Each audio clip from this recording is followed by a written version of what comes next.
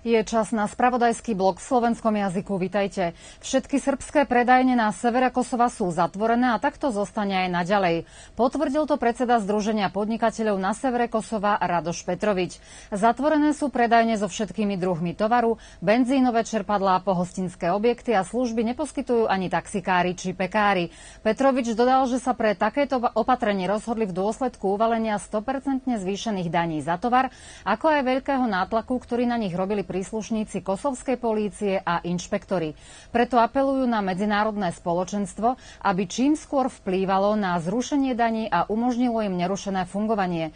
O ďalších opatreniach členovia Združenia podnikateľov na severe Kosova budú sami rozhodovať na každodenných schôdzach v závislosti od situácie v teréne.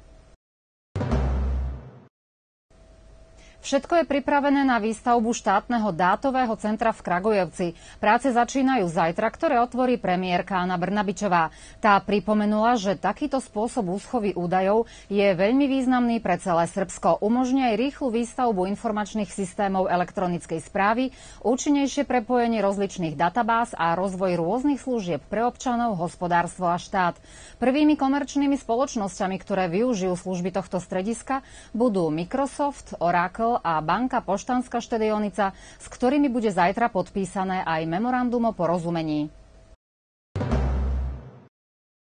Ministerstvo ochrany životného prostredia vyčlení ďalších 22 miliónov 900 tisíc dinárov na zalesňovanie verejných plôch. Celkovo tohto roku na tieto účely určili 41 miliónov, z ktorých už 18 prostredníctvom jednej výzvy udelili. Aktuálne je ďalšia výzva, na ktorú sa môžu prihlásiť záujemcovia o prostriedky potrebné na zadováženie sadeníc a vykonávanie prác pri výsadbe autochtónnych druhov stromov a krov. Právo uchádzať sa o prostriedky majú mesta a obce, z ktorých komisia uprednostní projekty zalesňovania degradovaných plôch a mestských parkov. Lehota na podávanie prihlášok je do 19.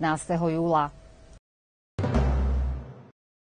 Vytvorila sa nová sieť daňovej správy a daňová správa Srbska tento mesiac má otvorených 37 namiesto doterajších 78 organizačných stredísk, pričom kvôli tejto reorganizácii nebol prepustený ani jeden pracovník. Vyhlásili z tohto štátneho orgánu. Filiálka v Starej Pazove ostáva otvorená a pripája sa k nej aj pobočka z Indie. Čo sa týka Sriemu, filiálka v Sriemskej Mitrovici bude otvorená po novom aj pre daňových poplatníkov z obcí Ruma, Irik, Šít a Petince. 41.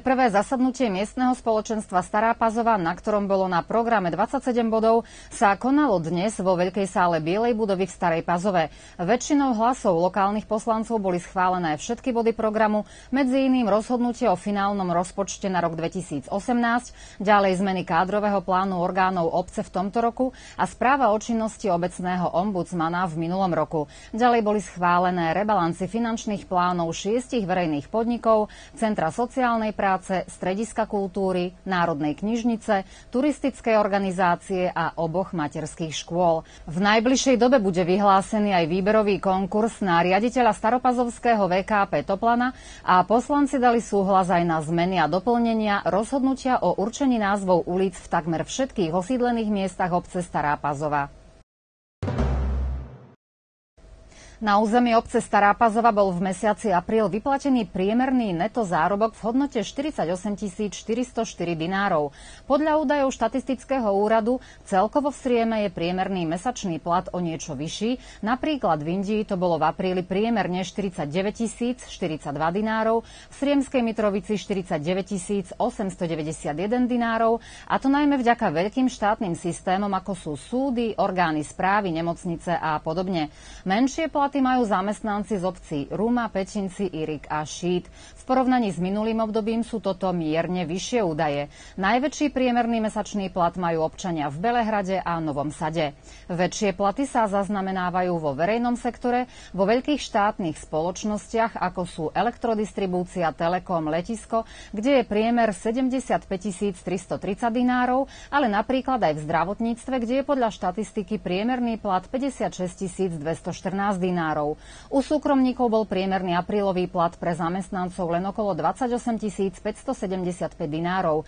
Ide však o štatistické údaje. Najlepším ukazovateľom pohybu platov v Srbsku je tzv. mediálny zárobok, ktorým sa rozumie stredná hodnota medzi najvyšším a najnižším vyplateným platom, prípadne suma, ktorú zarába vyše polovica zamestnancov v Srbsku a tá je momentálne na hodnote 41 494 dinárov bez daní a príspevkov.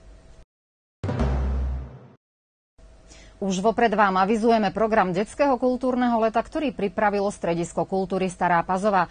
Čo sa týka programu na mesiac júl pre Starú Pazovu, v piatok 12. o 20. hodine začne v divadelnej sále predstavenie pre deti Čarovná studňa. V sobotu 13. júla na námestí Zorana Dindiča sa bude o 20. hodine a 30. minúte premietať film Aladin. Ďalej 26. júla v divadelnej sále opäť predstavenie pre deti Marko v zemi hračiek o 20. hodine a o deň neskôr 27. na námestí premietanie filmu Kto sa ešte bojí vlka o pol deviatej večer. Vstup na všetky podujatia je bezplatný. Podobný program, teda dve predstavenia a dva filmy budú v Starej Pazove na programe aj v auguste.